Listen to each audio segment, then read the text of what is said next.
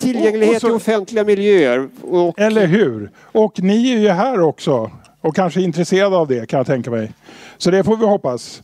Så vem är då jag? Ja, eh, som ni hörde lite grann då, så är jag konsult på Funka och kommer dra lite mer om det. Men eh, vad, har, vad, är, vad är liksom min ingång i det hela? Ja, jag kommer från ursprungligen handikapprörelsen och eh, eh, Eh, har ett flertal funktionsnedsättningar och ni får väl eh, möjligheten här att kolla upp vad 17 har den där gubben för funktionsnedsättningar nu då.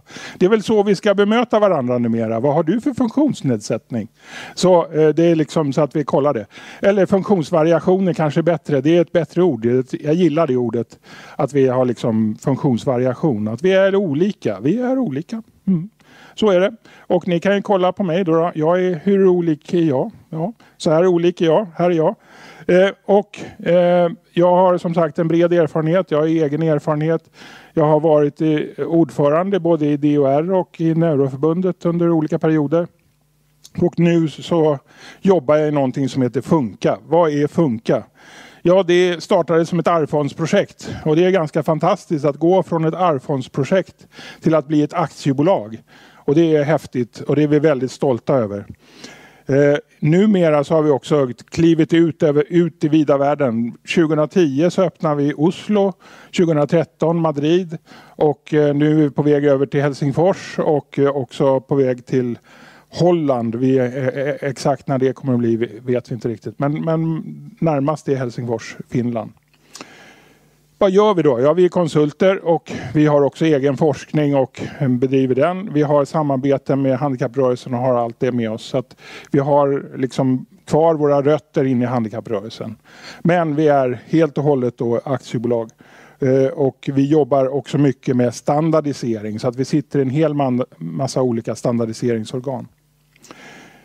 Det om det. Tillgängligt Ska vi se, den hoppar en... Ja, den hoppar. Den hoppar. Så. Den var lite känslig. Tillgängligt samhälle. Det är det vi är på span efter här. Det är en, och en del är det som vi tittar på här. Då. Det innefattar ju då en del av den fysiska tillgängligheten naturligtvis men också information, service, arbetsmiljö och utbildning som, som vi har hört. Ehm, Mänskliga rättigheterna, det är ju det som egentligen ger incitamentet till att vi faktiskt ska göra saker och ting.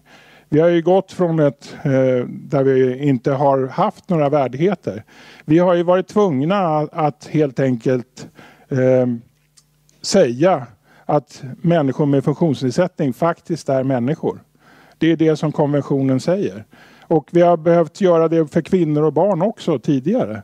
Att de ingår i begreppet mäns- människor. Och det är lite märkligt kanske, men det, det är så det är. Och att vi hela tiden måste påminna oss själva om att alla människor som har sådana här ser ut så ungefär som vi, Att de faktiskt också är människor i olika former. Då. Som barn och eh, som kvinnor och, och som människor med funktionsnedsättningar. Eh, det kanske också måste förtydligas i hudfärg eller var man bor eller vad som helst. Jag vet inte hur långt vi kommer att gå med alla konventioner men vi måste ju någonstans tycker jag att det är lite tragiskt att vi måste liksom göra den här liksom förtydligandet. För att vi är alla människor och vi har lika värde.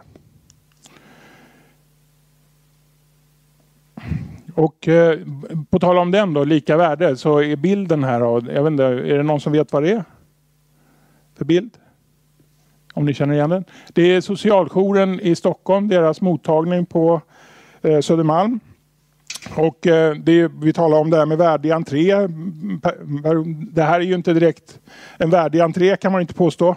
Och de människor som kommer dit som är utsatta på något sätt och behöver hjälp blir ju fly förbannade när de ser den här entrén och kastar in saker genom fönstren så de var tvungna att sätta upp pansarglas på den här sidan för att skydda personalen som är på insidan. Vår miljö och hur vi utformar den skapar effekter och det är någonting som vi också är väldigt intresserade av. Eh, ett sätt att försöka i alla fall eh, ändra på det här är ju att få till en lika för alla, design för alla. Eh, det här är ju riksdagen där man då har gjort en egen, eller en, en ytterligare en ingång och ökat tillgängligheten. Eh, det vart inte 100% alla genom alla ingångar men det blev ändå in, in till samma plan innanför. Det är två ingångar men det är en hissentré och en i samma sammanhang. Eh, men det är ändå så att man liksom måste tänka på att alla ska med. Ja, det här är en intressant sak. Där. Det är nog glapp inne. Eh, vi har ju pratat mycket om liksom det här med historien och så, men eh, mitt perspektiv är ju behov. Utifrån behov. Vad är det som driver att vi får förändringar? Ja, eh, det är ju funktionsbehov. Eh, det här är en bild på Katarinahissen. Eh, den första. Och den, på, på platsen där vid Slussen. Och det är så är ju Otis, känner ni till honom? Han upptäckte ju hissen, eller uppfann hissen, personhissen. Och det gjorde han på 1800-talet. Vad var det han uppfann då egentligen? Jo, att eh, när linan går av så gjorde han en bromsanordning så att hisskorgen inte ramlade ner. Och det gjorde att person att hissen blev mycket säkrare. Tidigare hade man haft ett snöre och en plattform. Och när den eh, linan gick av så ramlade alltihopa ner och folk dog. Nu blev ju personhissen då mycket säkrare och det är den absolut säkraste tekniska anordning för transport som finns idag. Så är det personhissen. Och vad hände då med Otis uppfinning som kommer av att människor hade svårt att gå i trappor? Det har ju varit så länge. Eh, och det, han drevs av liksom att skapa någonting åt det behovet. Ja, vad hände? Tystnad i salen. var hände det någonting? Innan Otis, var var bästa våningen någonstans? Var bodde man om man hade pengar? Längst ner, ja, på första våningen. Det var där man bodde, på första. Eh, de tjänarna och de, de bodde ju högre upp. Och de här stackars konstnärerna i Paris som bodde på vindsvåningarna, de bodde ju där för att det var gratis och billigt. Va? Det var inte för liksom någon, någon, någon annan anledning egentligen. Eh, utan, och nu då när vi har fått hissen, var bor alla nu då? Ja, högst upp. Det, det, är liksom det här funktionsbehovet. Så att han, Otis vände upp och ner på hela världen och gjorde att vi fick skyskrapor och alltihopa. Eh, konsten vart ju lite konstig efter det kan man ju säga. Eh, den vart ju ganska introvert och källartyp. Eh, liksom så så att det hände ju något med konsten då. Det är, det så det är Otis fel om ni tycker att konsten är konstig. Eh, bara så ni vet. Mm. Eh, Tillgänglighet eh, ska ju vara standard och det är, det är vår filosofi om allting. Att det ingår i det normala, att tillgänglighet är det som är vårt vardagliga sätt att vara. Det innefattas av det som vi har gått igenom här, design för alla eh, och det är eh, då internationell standard. Det är det vi jobbar för, att vi ska få in det här som begrepp i hela världen och eh, i alla standardiseringsorgan. Det är också ett mått på kvalitet. Ju bättre tillgänglighet, för det kan man också se på om man mäter tillgänglighet på hotell. Ju bättre standard de har, alltså hur många stjärnor de har, desto bättre tillgänglighet så uppnår man också. Man kan se det på båtar, kryssningsfartyg och allt möjligt sånt där. Det är en fråga om kvalitet. Och vi har ju också en hel mängd produkter som är gjorda utifrån de här behovsperspektiven då, som vi idag har överallt egentligen. Det är standard. Vi har den här engreppsblandaren som var ett hjälpmedel från början för de som hade reumatiska problem och inte kunde ratta de här rattarna. Nu är den liksom logisk. Man går in, tar tag i den där spaken och så händer det grejer. Och eh, då får man direkt respons på det. Man sparar vatten, man sparar värme. Och det, det är en mängd av plusfaktorer bara i den här att man har jobbat med det här behovet som var från början att någon hade ett problem att ratta. Eh, och man har fått massa pluseffekter. Vi har ju fjärrkontrollen. Den har väl, eh, jag vet inte om den är så tillgänglig egentligen. Från början var den ju det, men nu, jag vet inte, vilken fjärrkontroll ska vi vara i? Alltså, vi har ju 15 kontroller att hålla reda på. Så det är ett kognitivt problem även med fjärrkontrollerna, men i alla fall så är det så det var tänkt från början. Den finns överallt. Det här med processen då. då. Eh, Per-Anders har ju en jättebra processbeskrivning och eh, värdig entré är någonting som ni absolut ska liksom kopiera och titta på hur den processen går till. Eh, den går att applicera på vad som helst kan jag säga och vi har också eh, varit delaktiga i den och sett på den. Eh, som en liten, ni som jobbar med hus som redan är byggda och har liksom de förutsättningarna att jobba med.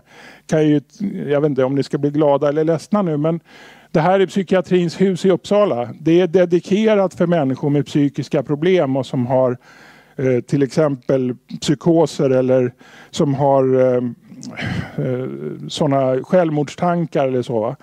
Som är direkt eh, då eh, missat målet kan man säga.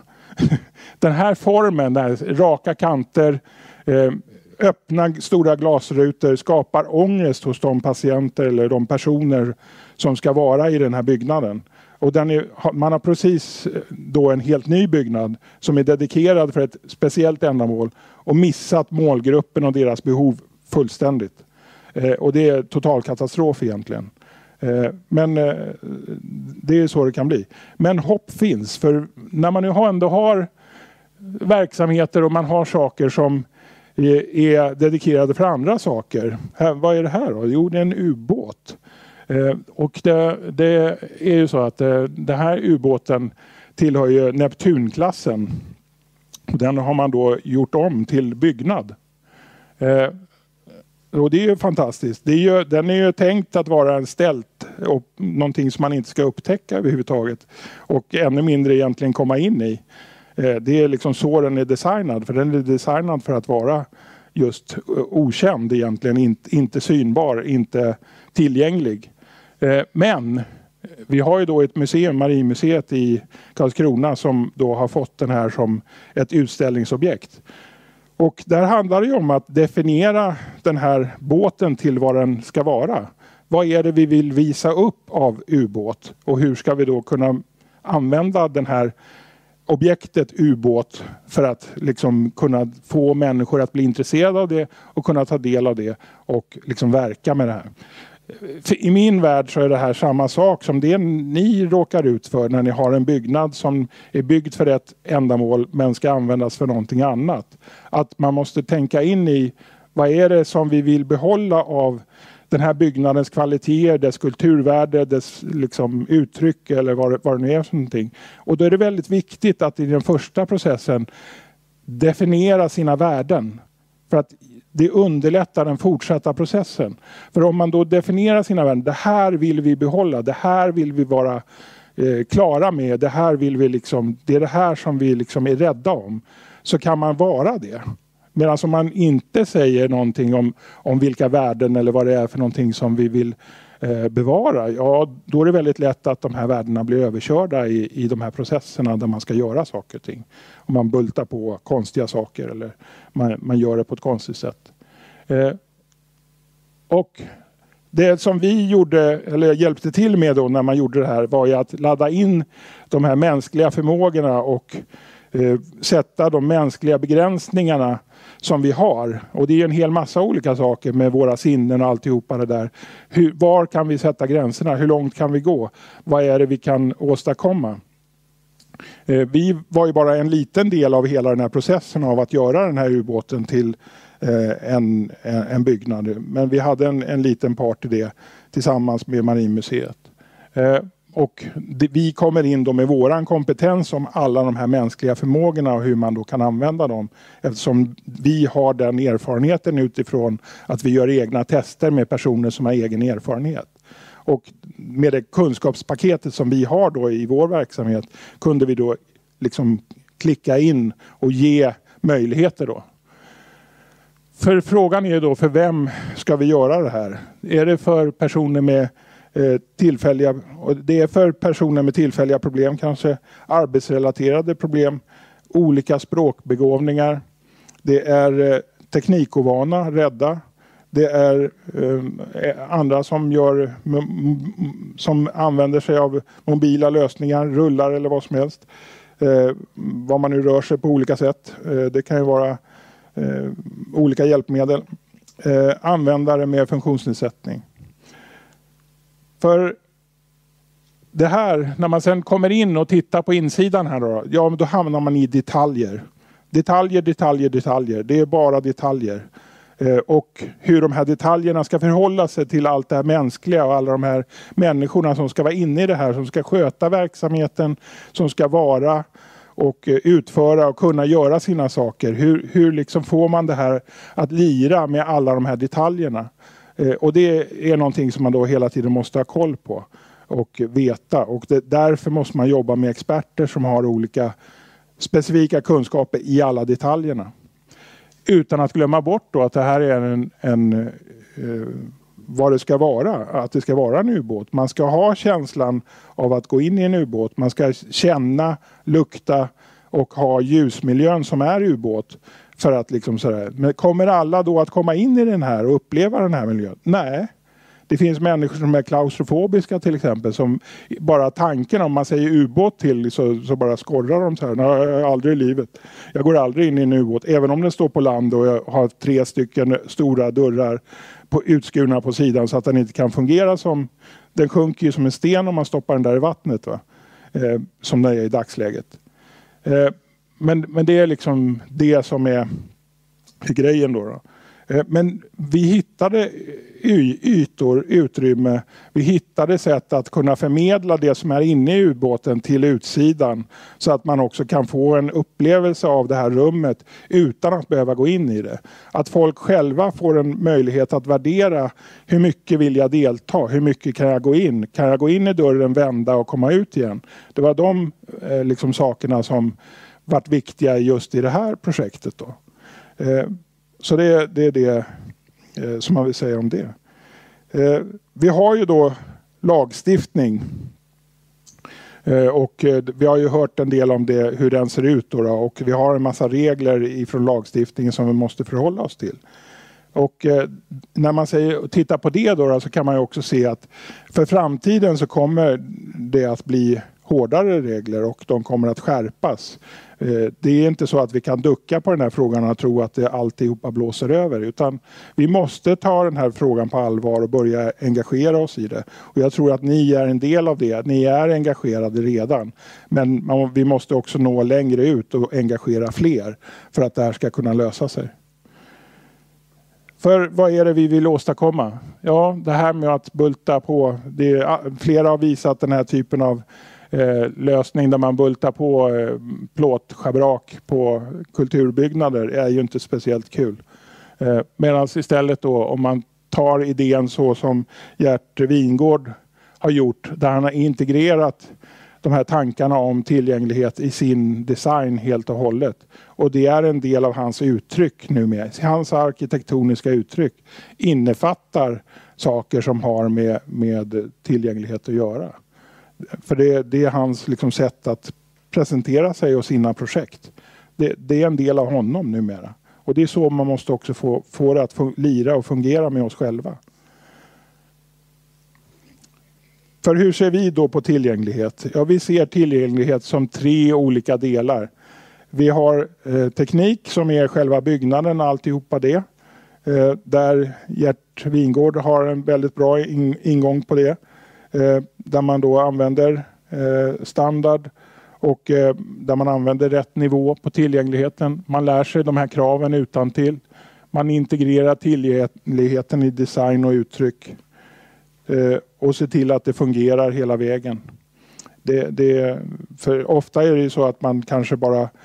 Eh, det finns flera exempel på där man har tillgänglighet här eller tillgänglighet hit och sen har man inte tänkt hela hela kedjan av saker som måste fungera för att det verkligen ska fungera.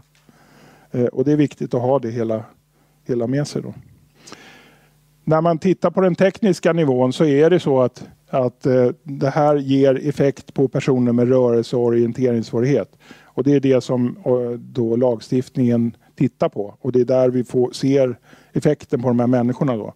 Trots att vi har lagstiftning som säger att det här ska vara gjort så är det ändå så att de här grupperna står utanför. Och att vi inte har koll på lagstiftningen att de här grupperna faktiskt är omfattade. Rörelse och orienteringssvårigheter.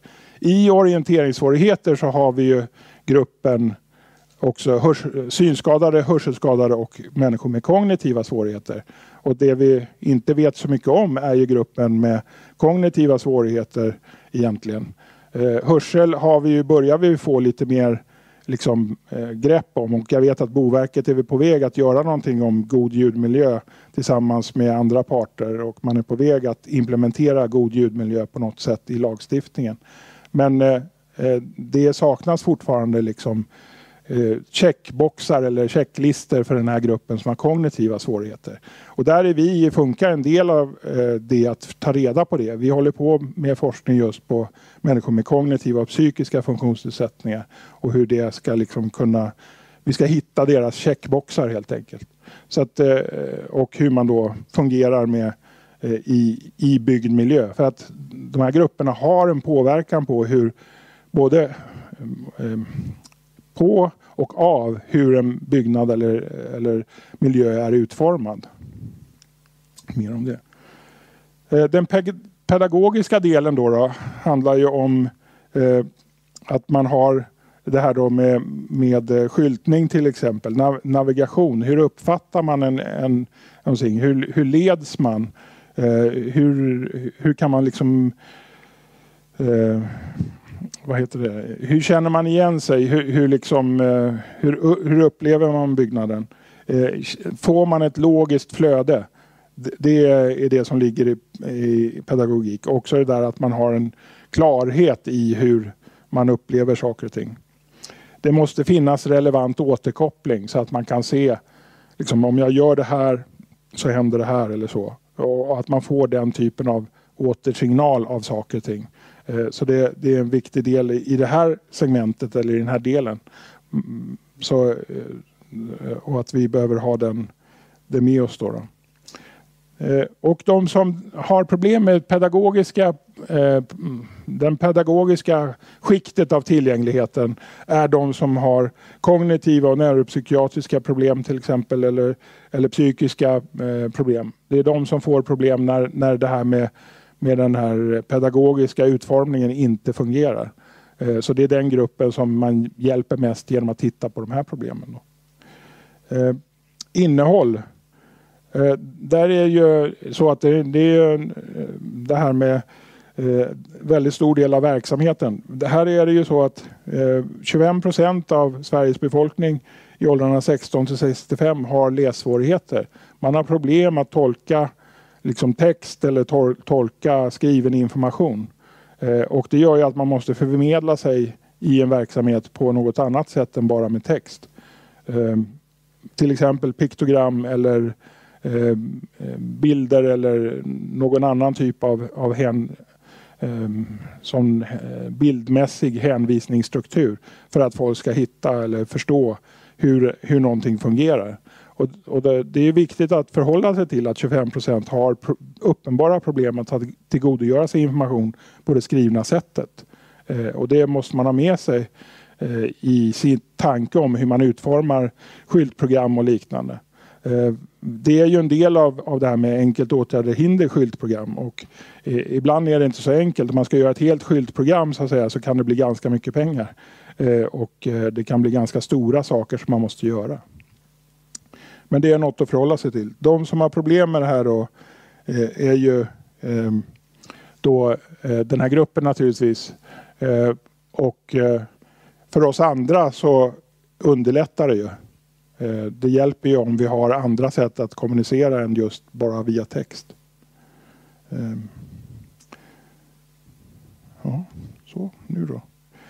Ja, Eh, det, det, var en eh, snabb genomgång av lite sådär eh, övergripande ändå om, om saker och ting.